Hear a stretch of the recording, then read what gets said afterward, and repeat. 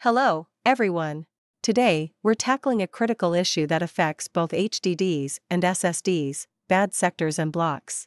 We'll also cover how to handle these using the check disk tool with the slash R switch. Both HDDs and SSDs can suffer from bad sectors and blocks, which are damaged areas that hinder read and write operations. This can lead to data loss, system crashes, and poor performance. For HDDs, bad sectors often stem from physical damage or wear and tear.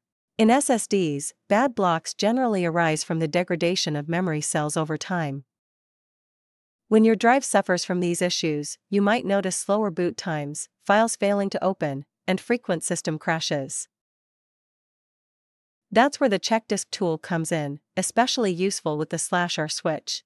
Let's explore how this function works to resolve these issues. To use CheckDisk slash R, start by opening Command Prompt as an administrator. Enter CheckDisk slash RX, replacing X with your drive's letter.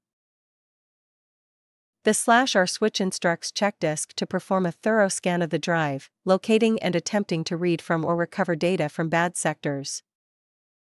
This tool also isolates bad sectors to prevent further use, crucial for maintaining the remaining healthy parts of your drive. It's important to note, while CheckDisk slash R is great for HDDs by recovering data and marking bad sectors, it's less effective on SSDs. For SSDs, manufacturer specific tools are recommended as they are designed to handle bad blocks more effectively. To prevent bad sectors and blocks, handle your devices carefully, keep your OS updated, and use power protection. Don't forget regular backups.